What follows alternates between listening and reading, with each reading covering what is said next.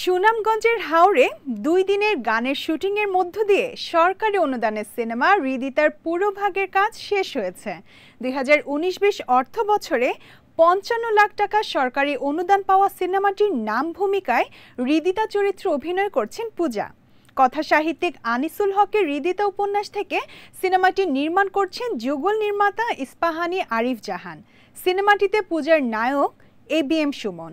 ওদিকে টাঙ্গাইলে অপেক্ষা করছেন সাকিব। ঢাকায় ফিরে এবার পূজা যোগ দিবেন গোলই ছবিতে। শাশ্বত মেহেদির প্রতিবেদন। বড় ব্যস্ত দিন পার করছেন নায়িকা পূজা চেরি। একাধিক ছবি নিয়ে ভিন্নধর্মী চরিত্র দিয়ে নিজেকে উপস্থাপন করছেন এই নায়িকা।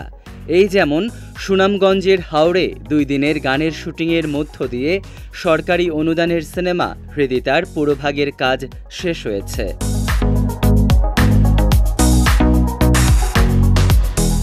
দু হাজার উনিশ বিশ অর্থ বছরে পঞ্চান্ন লাখ টাকা সরকারি অনুদান পাওয়া সিনেমাটির নাম ভূমিকা হৃদিতা চরিত্রে অভিনয় করছেন পূজা চেরি।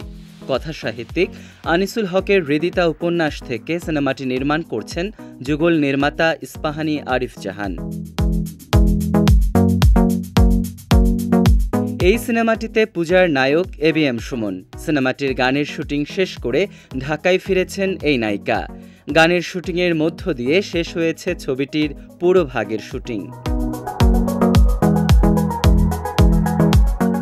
সরকারি অনুদানের সিনেমা গোলই ছবিতে ঢাকায় ছবির শীর্ষ নায়ক শাকিব খানের সঙ্গে প্রথমবারের মতো জুটি বাঁধছেন নায়িকা পূজা চেরি। কথা রয়েছে, বাইশ সেপ্টেম্বর থেকে টাঙ্গাইলের মহেরায় পূজা চেরি, আলী রাজসহ বেশ কয়েকজন অভিনয়শিল্পী শুটিংয়ে অংশ নেবেন।